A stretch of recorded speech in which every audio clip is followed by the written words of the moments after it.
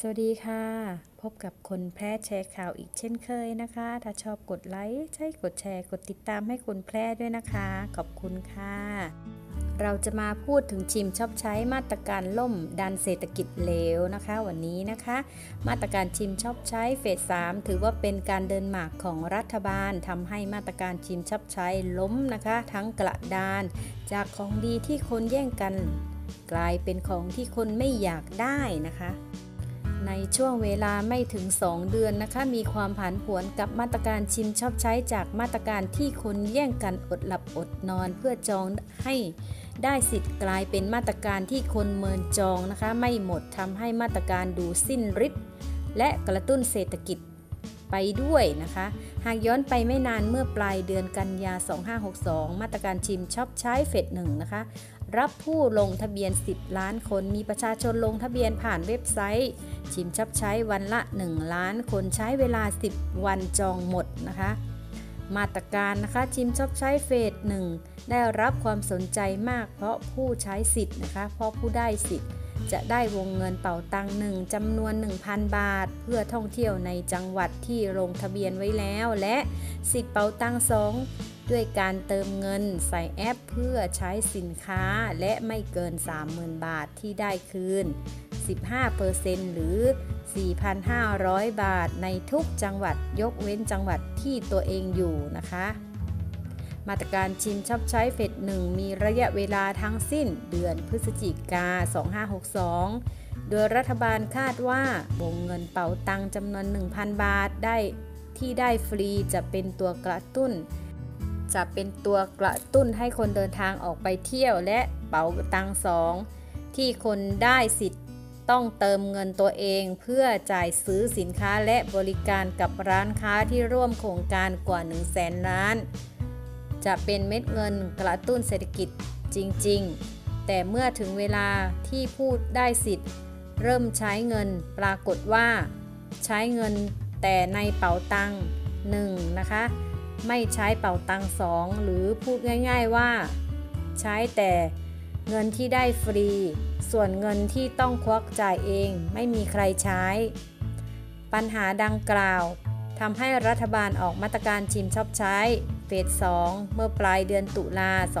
2562 โดยเริ่มมีการลงทะเบียนเพิ่มอีก 3 ล้านคน ที่มีมีการเพิ่มแรงจูงใจให้คนใช้เป๋าตังสอง ในส่วนที่เกิน 30,000 บาท แต่ไม่เกิน 50,000 บาท ที่ได้เงินคืน 20%เท่ากับหากผู้ใช้สิทธิ์เป๋าตังสองเต็ม 50,000 บาท จะได้เงินคืนรัฐบาลถึง 8,500 บาท พร้อมทั้งมีการขยายอายุของมาตรการ ไปจนสิ้นเดือนธันวา 2562 ปรากฏว่า ในส่วนของการลงทะเบียน คนยังแห่ลงเต็มอย่างรวดเร็ว เหมือนเฟสหนึ่งที่ผ่านมา แต่แต่ในส่วนของการใช้เงินยังเหมือนเดิม คือใช้แต่เป๋าตังหนึ่งจนหมดเกลี้ยง แต่เป๋าตังสองกลับมาคนใช้น้อยมาก จากข้อมูลของกระทรวงการคลัง มาตรการชิมชับใช้เฟส1และ 2 มีผู้ได้สิทธิ์ 13 ล้านคน มีการใช้จ่ายเงินประมาณ 1.2หมื่นล้านบาท กว่า 10,000 ล้านบาท เป็นการใช้วงเงินในเป๋าตังหนึ่งที่รัฐบาลให้ฟรี 1,000 บาท แต่เป๋าตังสองกลับมีคนเติมเงิน ใช้ซื้อสินค้าไม่ถึง 1,000 ล้านบาท จากที่ตั้งเป้าหมายไว้จะมีคนใช้เงินในเป๋าตังสองจำนวน 5-6หมื่นล้านบาท ซึ่งจะทำให้เศรษฐกิจขยายตัวได้ เพิ่ม 0.2 ถึง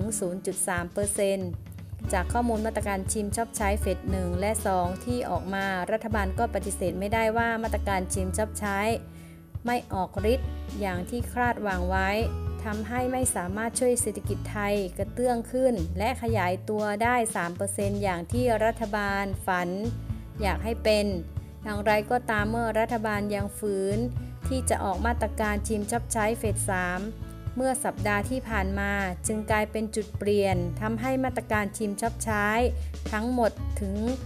การอวสานมีมาตรการก็เหมือนไม่มี เพราะยิ่งออกมากยิ่งไม่มีไม่น่าสนใจสำหรับมาตรการชิมจับไซเฟส3ให้การลงทะเบียนเพิ่มอีก 2 ล้านคนใช้สิทธิ์ได้ แต่เป๋าตังสองที่ต้องเติมเงิน ซื้อสินค้าและขยายเวลามาตรการ ไปจนถึงสิ้นเดือนมกราคม 2563 และปลดล็อกให้ใช้จ่ายได้ทุกจังหวัด เมื่อไม่ได้สิทธิ์เป่าตังหนึ่งที่รัฐที่รัฐแจกให้ฟรี 1,000 บาททำให้คนสนใจลงทะเบียนเฟส3น้อยลง โดยการลงทะเบียนเมื่อวันที่ 14 ถึง 16 พฤศจิกายน ให้บุคคลทั่วไปลงทะเบียน 1.5 ล้านคน ถึงจะเต็ม ส่วนอีก 500,000คนรัฐบาลให้สิทธิ์ ผู้สูงอายุเกิน 60 ปี เปิดให้จองวันแรก 17 พฤศจิกายน 2562 มีคนจองแค่ 90,000 คน และวันที่ 18 ล่าสุดมีคนจองอีก 30,000 คนยังเหลือ 3.5 แสนคน และคาดว่าต้องใช้เวลาอีกหลายวัน ถึงจะจองเต็ม ซึ่งทำให้มาตรการชิมชับใช้ เริ่มดูไม่ดี ไร้มนต์ขลัง กระทรวงการคลังรายงาน ตั้งแต่วันที่ 27 กยนะคะ กันยายน จนถึงวันที่ 17 พฤศจิกายน ผู้ได้สิทธิ์ชิมชอบใช้ มีการใช้จ่าย 13,117 ล้านบาท ซึ่งเป็นการใช้จ่ายเป๋าตังค์1จำนวน 11,569 ล้านบาทสำหรับเป๋าตังค์2 มีผู้ใช้สิทธิ์จำนวน 117,859 ราย มียอดการใช้จ่ายรวม 1,548 ล้านบาท หรือเฉลี่ยรายละประมาณ 13,134 บาท โดยเพิ่มขึ้นวันละร้อยกว่าล้านบาท จากตัวเลขที่ฟ้องชัดเจน มาตรการชิมชอบใช้ที่เป๋าตัง ให้การใช้จากเป๋าตังสองเป็นเม็ดเงินก้อนโตเข้าไปกระตุ้นเศรษฐกิจดับสนิท จนผู้ใช้เงินใช้เงินจากเป๋าตังสองคิดคิดเป็นเปอร์เซ็นต์1เปอร์เซ็นต์ของผู้ใช้สิทธิ์จำนวนเงิน และก็ยังห่างจากเป้าที่ตั้งไว้ไกลมาก การขยายเวลาและมาตรการไปจนสิ้นเดือนมกรา2563 กลายเป็นจุดอ่อนของมาตรการชิมชอบใช้เพิ่มขึ้น จากเดินที่ต้องการบีบให้คนใช้เงินในปีนี้ แต่เมื่อมีการขยายเวลาออกไปถึงต้นปีหน้าทำให้คนไม่จำเป็นต้องใช้เงิน ถึงจุดนี้จะบอกว่ามาตรการชิมชอบใช้ เป็นมาตรการกระตุ้นเศรษฐกิจที่ล้มเหลว ก็ดูเป็นคนใจร้ายใจดำเกินไปน่าแต่น่าจะบอกว่ามาตรการชิมชอบใช้ไม่ประสบความสำเร็จ ยิ่งขยายเฟสยิ่งแย่ ยิ่งผ่อนเงื่อนไข ยิ่งไม่น่าสนใจทำให้มาตรการชิมชอบใช้ในในวันนี้ อยู่ในสภาพเรือร่มตัวมาตรการเอง ยังไม่รอดส่งผลให้มาตรการนี้ดันเศรษฐกิจเหลวต่อไปอีกด้วย จบข่าวค่ะ ขอบคุณที่รับฟังรับชมจนจบนะคะ ขอบคุณค่ะ สวัสดีค่ะ